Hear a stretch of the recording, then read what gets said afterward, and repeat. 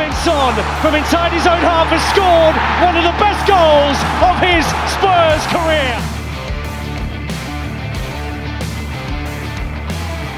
That's brilliant from Mo Salah. And still, Salah! Oh, sensation!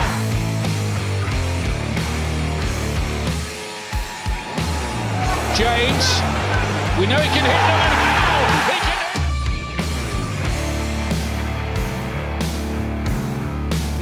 he's seen Mason Mount. Mason Mount! Oh, wonderful!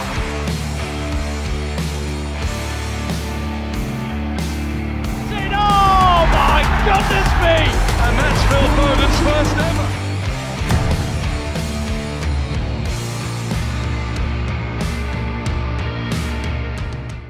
Trong một mùa hè sôi động trên thị trường chuyển nhượng thì chúng ta đều đang rất mong chờ vào những bom tấn mới có thể xuất hiện ở Premier League. Nhưng đừng quên rằng bên cạnh những gương mặt mới thì vẫn còn đó rất nhiều tên tuổi đã có được cho mình vị thế riêng ở hạng đấu cao nhất xứ sử sương mù từ trước. Có thể vì một vài lý do nào đó mà họ không có được phong độ tốt ở mùa giải vừa qua, nhưng đừng vì vậy mà đánh giá thấp tầm ảnh hưởng của họ ở Premier League. Và những cái tên mà mình nhắc tới trong số The Locker Room hôm nay sẽ đều là những gương mặt cần phải có được sự quyết tâm cao nhất nếu muốn tìm lại được chỗ đứng của riêng mình.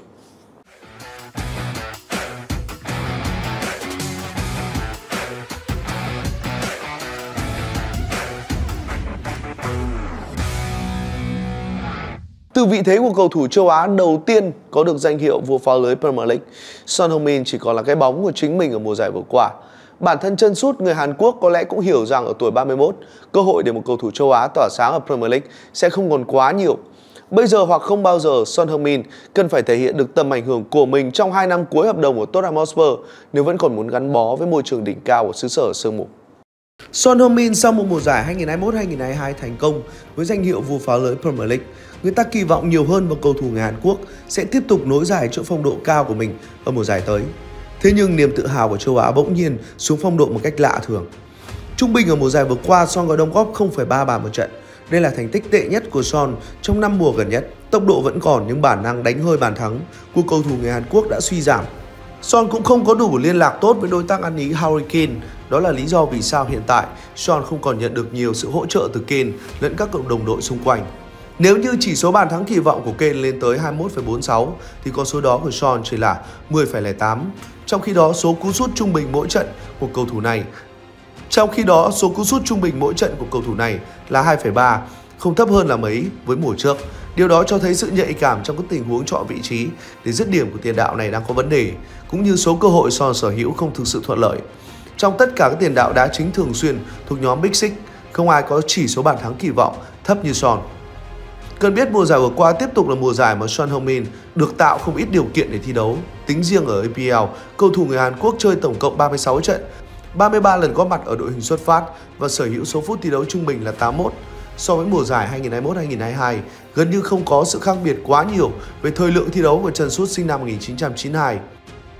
Có nhiều lý do để giải thích về sự sa sút của Son Heung-min. Đầu tiên là về tuổi tác, anh đã bước đến tuổi 31 và có thể chịu ảnh hưởng nhiều hơn từ yếu tố đó. Ngoài ra, việc Harry Kane được đẩy lên chơi cao hơn ở mùa này khiến Son mất đi một chân truyền sắc bén và rất ăn ý. Không nhận được những đường truyền ngon ăn từ các đối tác, chất lượng cơ hội cũng vì thế tụt giảm. Với các tiền đạo, sự tự tin rất quan trọng. Bây giờ sau những đợt khô hạn bàn thắng phải đối mặt, Son đang thiếu trầm trọng điều đó. Nó dẫn tới sự thiếu nhạy bén trong phán đoán, đánh giá cơ hội cũng như tính chuẩn xác khi dứt điểm. Thật ra thì mọi ngôi sao đều có thể vấp phải vấn đề tương tự. Một điểm chung khác, họ sẽ sớm hồi phục và tỏa sáng trở lại. Với một cầu thủ luôn nỗ lực cải thiện bản thân như Son Heung-min, việc niềm tự hào châu Á có thể khắc phục được những hạn chế ở mùa giải vừa qua và quay trở lại mạnh mẽ mùa giải sắp tới là điều hoàn toàn có thể xảy ra. Công bằng mà nói, Mohamed Salah vẫn là trụ cột quan trọng bậc nhất của Liverpool ở mùa giải vừa qua, bất chấp phong độ thiếu thuyết phục của đội chủ sân Anfield. Tuy nhiên, chừng đó có lẽ vẫn là chưa đủ cho những kỳ vọng và một siêu sao luôn hướng tới mục tiêu cao nhất là chức vô địch ở mọi giải đấu mà anh tham dự. Giờ đây với sự xuất hiện của những người đồng đội mới chất lượng, Salah sẽ lại được kỳ vọng trở thành đầu tàu của The Cup trong mùa giải mà sự lột xác sẽ là điều các cổ viên đang mong chờ.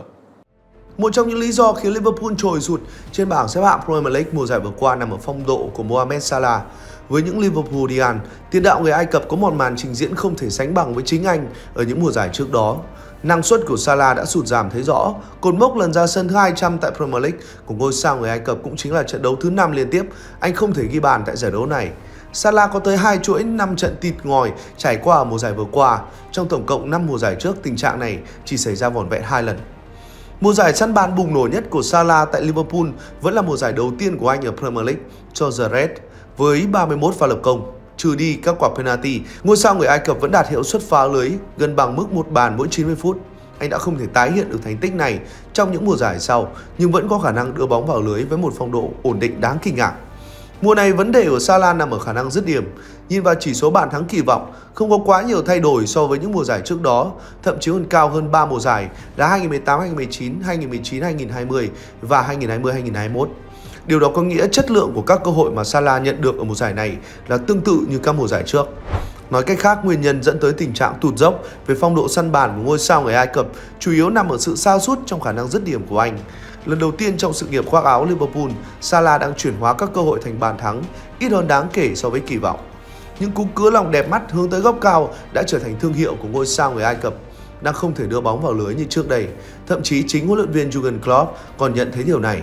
Có những khoảnh khắc mà nếu là vào mùa trước thì Mo đã ghi được bàn rồi. Nhưng loại cơ hội mà cậu ấy thường đưa bóng vào lưới tỷ lệ lên tới 100%, giờ đây đã tụt xuống 0%. Salah vẫn đóng vai trò là nhân tố chủ chốt trong cách chơi của The Cop khi mùa giải vừa qua tiếp tục là mùa mà tiền đạo người Ai Cập cầy ải rất nhiều. Anh chơi đủ 38 trận cho đội bóng thành phố Cảng tại EPL, trong đó có 37 lần xuất phát ở đội hình chính, trung bình 87 phút mỗi trận. Con số này nhiều hơn hẳn mùa giải năm ngoái khi anh chỉ chơi 35 trận, có mặt trong đội hình xuất phát 30 trận và thi đấu trung bình 79 phút mỗi trận. Lý do được nhiều người đưa ra về sự xuống dốc của tiền đạo sinh năm 92 là anh chưa thi đấu đủ ăn ý với những nhân tố mới trên hàng công của Liverpool. Trước đó Salah cùng Sadio Mane và Roberto Firmino từng là cây đinh ba đáng sợ nhất của bóng đá thế giới. Trong suốt 4 mùa giải, họ ra sân liên tục ghi bàn và hầu như không dính bất kỳ một chấn thương nào. Klopp đã điền tên cả ba vào đội hình đá chính tại Premier League của ông tới 102 lần trong tổng số 152 trận đấu của đội. Các mảng miếng phối hợp di chuyển được tạo nên bởi họ từng là một phần quan trọng trong những thành công mà Liverpool đạt được. Firmino lùi sâu, Salah khai thác khoảng trống mà đồng đội người Brazil mở ra. Tuy nhiên khi Nunes đến, Mane rời đi, Salah dường như đóng một vai trò khác. Anh thi đấu rộng và thấp hơn. Mùa giải vừa qua cũng là mùa mà Salah có ít lần chạm bóng trong vòng cấm nhất. Vậy Salah có thể cải thiện trong mùa giải mới hay không? Khi mà anh cũng đã bắt đầu bước vào độ tuổi được coi là sườn dốc bên kia ở sự nghiệp. Hoàn toàn có thể nếu Salah sau một mùa giải thích nghi được với cách chơi mới, với vai trò mới và hoạt động ăn ý hơn bên cạnh những đồng đội trên hàng công. Thực tế thì vào giai đoạn cuối mùa, tiền đạo người Ai Cập đã bắt nhịp và đạt phong độ tương đối cao, nhưng thời điểm ấy là quá muộn để Liverpool giành lại tấm vé tham dự UEFA Champions League. Và mùa giải tới đây sẽ là cơ hội để Salah làm lại mọi thứ từ đầu. Chấn thương đã khiến cho Rich James không để lại được quá nhiều dấu ấn trong màu áo của Chelsea mùa giải vừa qua. Ở tuổi 23, nhà vô địch Champions League mùa giải 2020-2021 vẫn còn rất nhiều cơ hội để chứng minh được giá trị của bản thân khi có được ờ, trạng thái sung mãn nhất. Nhưng nếu nhìn với cách mà The Blue đang thanh lọc đội hình như ở thời điểm hiện tại thì chính Rem có lẽ cũng hiểu rằng không ai là ngoại lệ trong cuộc thanh trừng đó và bất kỳ ai cũng có thể trở thành nạn nhân nếu không thể hiện được phong độ cao nhất. Rick James là một trường hợp rất đặc biệt trong đội hình của Chelsea. Hậu vệ cánh người Anh luôn chơi hay mỗi khi có cơ hội ra sân thi đấu. Nhưng thứ cản trở cầu thủ sinh năm 99 phát triển ở mùa giải vừa qua là nỗi ám ảnh mang tên chấn thương. Tháng 10, Rick James gặp một chấn thương đầu gối nghiêm trọng sau trận đấu với AC Milan tại UEFA Champions League. Chấn thương tương đối nghiêm trọng khiến hậu vệ người Anh cần ít nhất 8 tuần để hồi phục hoàn toàn và khiến anh ngậm ngùi nói lời tạm biệt World Cup 2022. Đến cuối tháng 12 khi chỉ vừa tái xuất trên sân cỏ và chơi vỏn vẹn 53 phút trước Bournemouth, Rick James đã tái phát chấn thương đầu gối và phải tiếp tục dưỡng thương thêm một tháng. Sau đó, cầu thủ người Anh tiếp tục gặp hàng loạt các loại chấn thương nặng nhẹ khác nhau từ đùi, cơ, gân khoeo trong các tháng 3 và tháng 4. Tổng cộng cả một mùa giải EPL đã qua, Rick James chỉ chơi vỏn vẹn 16 trận, trong đó đá chính 14 lần, trung bình thi đấu 78 phút. Một con số quá ít để xác định được những đóng góp cụ thể của Rick James trong màu áo tập blue. Trước khi dính chấn thương, Rich James vẫn thi đấu cực kỳ tốt trong vai trò của một wingback. Anh vừa là cầu thủ ghi bàn, vừa kiến tạo bằng khá nhiều phong cách khác nhau. James có khả năng đi bóng thoát người khá tốt khi tạo ra trung bình 1,1 tình huống qua người thành công một trận tại Premier League, cao nhất hàng thủ của Chelsea. Với trung bình 1,4 pha dứt điểm một trận, James cũng là hậu vệ chịu khó bắn phá khung thành đối phương nhất của Chelsea. Chất lượng tấn công của đội chủ sân Stamford Bridge tăng lên đáng kể mỗi khi có Rick James ở trên sân. Dù chỉ chơi 16 trận, nhưng những thông số của hậu vệ cánh 23 tuổi là vô cùng ấn tượng. Hậu vệ người Anh có tỷ lệ truyền chính xác lên tới 91%, tạo ra 1,9 tình huống tắc bóng mỗi trận và có khả năng thắng tranh chấp tay đôi, rơi vào khoảng 64%. Những con số này còn ấn tượng hơn so với chính Anh ở mùa giải năm ngoái, thời điểm mà Rick James còn được thi đấu thường xuyên hơn. Nhìn những con số trên để thấy vấn đề của Rick James chưa bao giờ là câu chuyện về chuyên môn. Màn trình diễn tệ hại hiếm hoi mà anh thể hiện ở mùa giải đã qua có lẽ là lần bị Vinicius làm khổ tại Champions League. Còn lại mỗi khi Rick James thi đấu, cánh phải của The Blue chắc chắn và mạnh mẽ hơn nhiều. Thứ mà hậu vệ này cần cải thiện chắc chắn là về thể chất và tìm cách hạn chế những chấn thương. Với một môi trường chơi bóng với cường độ cao như ngoại Anh, dù Rick James có hay như thế nào đi chăng nữa mà anh không thể thường xuyên ra sân và đóng góp cho đội bóng, thì ngày mà hậu vệ cánh này rời khỏi London có lẽ không còn xa. Mason Mount đã đến với Manchester United với rất nhiều kỳ vọng và áp lực đối với tiền vệ người Anh sẽ còn là lớn hơn rất nhiều khi anh mang trên mình chiếc áo số 7 huyền thoại. Sân Old Trafford sẽ là sân khấu mới của tiền vệ người Anh, là nơi mà anh cần phải sớm lấy lại hình ảnh của một trong những thần đồng hàng đầu của bóng đá Anh nếu muốn có được vị thế riêng ở Manchester. Việc được bình chọn là cầu thủ xuất sắc nhất của Chelsea trong hai mùa giải liên tiếp trước đó là đủ để thấy được những kỳ vọng mà các cổ động viên The Blue dành cho Mason Mount là lớn như thế nào. Thế nhưng trong một mùa giải sóng gió tại Stamford Bridge, gương mặt đáng lẽ phải đảm nhận trọng trách đầu tàu ấy lại trở thành một nỗi thất vọng tràn trề. Không ai có thể phủ nhận rằng ở một mùa giải đầy biến động với 3 lần thay tướng, sự thiếu ổn định và việc khó bắt nhịp với hệ thống chiến thuật của các đời huấn luyện viên là nguyên nhân chủ yếu khiến Chelsea sa sút. Nhưng đồng thời cũng phải thừa nhận rằng hàng tấn công luôn là điểm yếu cố hữu của họ trong những năm trở lại đây. Mùa trước, tổng số bàn thắng mà các ngôi sao của Chelsea có được chỉ là 38 bàn, tức đạt hiệu suất trung bình một bàn mỗi trận. Con số thậm chí còn thua cả cá nhân Erling Haaland.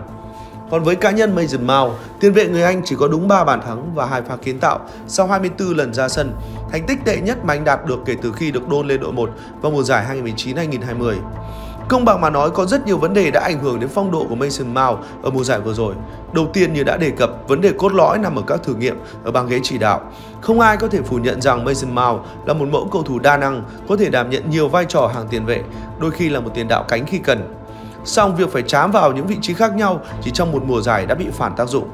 Theo thống kê từ Transfermarkt, trong 32 lần góp mặt trên sân, Mason Mount có 15 lần thi đấu ở vị trí tiền vệ tấn công, 8 lần được bố trí ở trung tâm hàng tiền vệ, 5 lần sắm vai một tiền vệ cánh và 4 lần còn lại thậm chí còn được đôn lên ở hai cánh.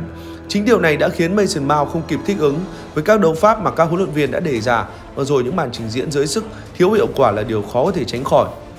Ngoài ra một chấn thương xương chậu gặp phải hồi tháng 3 của Mason Mount cũng khiến mùa giải của anh không thể kết thúc một cách trọn vẹn. Trong 14 trận đấu giai đoạn lượt về tại giải Ngoại Anh, tiền vệ sinh năm 1999 chỉ có đúng 16 phút thi đấu, trái hoàn toàn với hình ảnh của một cầu thủ từng được xem là động cơ vĩnh cửu của đội bóng. Bên cạnh các yếu tố chuyên môn đã có không ít các tác nhân ngoại cảnh dẫn đến bầu không khí ảm đạm tại Stamford Bridge, tất nhiên trong đó có cả Mason Mount. Chúng ta đã đề cập quá nhiều về tác động tiêu cực mà những cầu thủ mua sắm rầm rộ, hay nói chính xác hơn là cuộc khủng hoảng thừa mang lại. Áp lực tâm lý về việc chứng tỏ bản thân trong cuộc đua tranh khốc liệt đã khiến nhiều cầu thủ đánh mất chính mình. Hơn nữa, Mason Mount lại còn đang chuẩn bị bước vào 12 tháng cuối cùng của hợp đồng. Cùng với đó là nhiều lời đồn đoán về sự ra đi, chắc chắn tâm trí của anh cũng sẽ bị sao nhãng dù ít hay nhiều.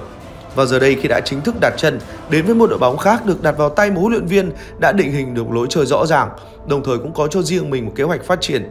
Đây chính là thời điểm mà Mason Mount cần phải nhanh chóng trở lại để khẳng định giá trị của bản thân và xa hơn nữa là gánh vác niềm kỳ vọng của các cổ động viên Quỷ Đỏ. Cũng là một thần đồng từng nhận được sự quan tâm của đông đảo người hâm mộ trong những năm qua. Nhưng Phil Foden lại cũng đang phải đối mặt với những khó khăn nhất định trong hành trình tìm kiếm chỗ đứng cho riêng mình ở sân Etihad. Rồi khi mà những cái tên như Riyad Mahrez đã rời đi thì tiền vệ người Anh sẽ cần phải nắm bắt cơ hội để một lần nữa lọt vào mắt xanh của một người khó tính như Pep Guardiola. Có thể sẽ có nhiều người bất ngờ, thậm chí đâu đó là cả ý kiến trái chiều khi Phil Foden có mặt trong danh sách này. Bởi thực tế thì 11 pha lập công và 5 tình huống kiến tạo là con số chấp nhận được đối với một cầu thủ tấn công. Thậm chí nếu nhìn lại thông số của anh trong những mùa giải gần đây, có thể thấy được rằng Phil Foden vẫn cho thấy sự trưởng thành qua từng mùa giải. Tuy nhiên nếu so với những ngôi sao mà Pep Guardiola đang sở hữu cũng như mức định giá lên đến 110 triệu euro của anh thì lại là một câu chuyện hoàn toàn khác. Nói cách khác, Phil Foden trong mùa giải 2022-2023 vẫn chưa thực sự lột xác để vượt qua cái mác tài năng trẻ đã tồn tại ít nhất trong 3 năm trở lại đây. Trên thực tế, phẩm chất kỹ thuật vốn có cùng cái kèo trái sắc bén của Phil Foden hoàn toàn phù hợp để đặt vào vị trí cầu thủ chạy cánh phải trong sơ đồ 3-2-4-1 mà Pep Guardiola đang vận hành. Tuy nhiên, nhà cầm quân người Tây Ban Nha lại kỳ vọng nhiều hơn về cậu học trò của mình. Bằng chứng là không ít lần ông đã thử nghiệm Phil Foden ở vị trí trực diện với khung thành đối phương hơn, chẳng hạn như vai trò một tiền vệ tấn công nhằm tận dụng khả năng chạy chỗ không bóng cũng như tư duy về chiến thuật của cầu thủ này. Tuy nhiên điểm trừ của Foden lại nằm ở sự thiếu chính xác khi đưa ra những quyết định cuối cùng. Theo thống kê từ SofaScore, ngôi sao trẻ của Tam Sư chỉ sở hữu tỷ lệ 78% đường truyền bên phần sân đối phương và để mất bóng đến 9,5 lần mỗi trận. Đổi lại, số đường truyền mở khóa hàng phòng ngự đối phương của Foden chỉ là 1,4 mỗi 90 phút. Tuy nhiên, mùa giải tới được cho là một cơ hội để ngôi sao sinh năm 2000 khẳng định giá trị của mình trong mắt của Pep Guardiola. Với việc Ike Gundogan đã cất bước rời khỏi Etihad, còn Kevin De Bruyne cũng dần bước vào độ tuổi xế chiều, thì chắc chắn thời lượng được góp mặt trên sân của Foden sẽ được gia tăng một cách đáng kể. Hay nói chính xác hơn đây sẽ là thời điểm mà Phil Foden cần phải lột xác một cách mạnh mẽ, vừa để nhận được trọn vẹn sự tiến nhiệm của Pep Guardiola để có đảm bảo được việc ra sân hàng tuần, vừa gánh vác niềm kỳ vọng của các cổ viên The Citizen trong kỷ nguyên sắp tới. Đó là câu chuyện của The Locker Room ngày hôm nay. Nếu thấy video này hay đừng quên để lại một like coi như sự ủng hộ cho mình và ekip. Còn giờ thì xin chào và hẹn gặp lại ở những chương trình sau.